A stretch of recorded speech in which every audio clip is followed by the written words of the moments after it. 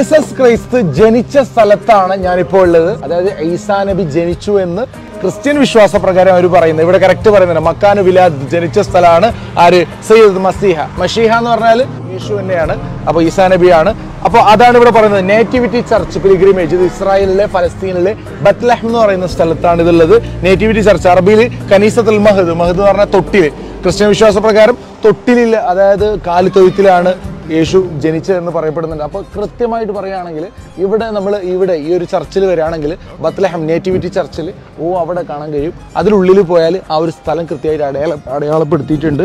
അപ്പോൾ പരിശുദ്ധ ഖുർആാനിൽ അള്ളാഹു താല വ്യക്തമായിട്ട് പറയുന്നുണ്ട് കലിമത്തുൻ അൽഖാഹ.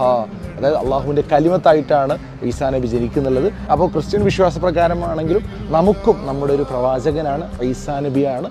അള്ളാഹു താല പ്രവാചകന്മാരുടെ കൂടെ നാളെ സ്വർഗത്തിൽ നാം ഏവരും ഒരുമിച്ച് കൂട്ടി അനുഗ്രഹിക്കുമാറാണ്